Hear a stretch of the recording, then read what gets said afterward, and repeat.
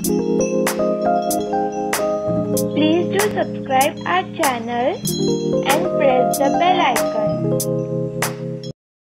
Hello friends कैसे हैं आप सब? आज हम बनाने वाले हैं लेजी पास्ता और इसे लेजी पास्ता क्यों कहते हैं यह जानने के लिए आखिर तक वीडियो देखिए।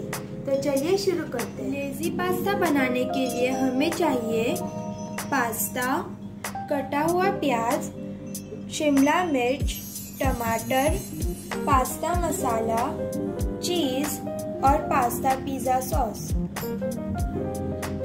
सबसे पहले एक कढ़ाई में थोड़ा तेल डालिए।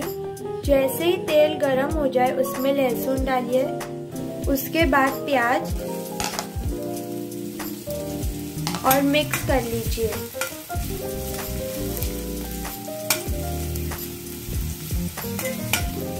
अब उसमें टमाटर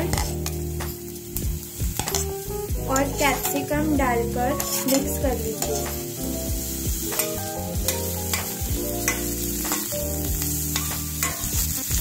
अब उसमें नमक डालिए।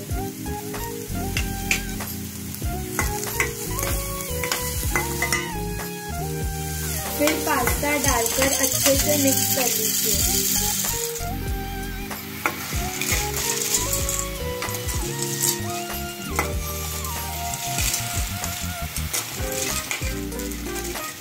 स्टार्टिंग में हमें पास्ता को उबालना नहीं है, कच्चे ही रखना है।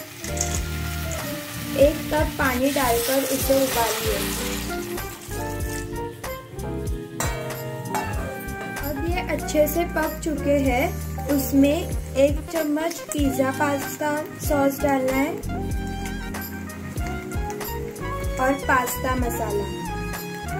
और मिक्स कर लेना है। और क्रीमी टेक्सचर के लिए चीज़ डालिए।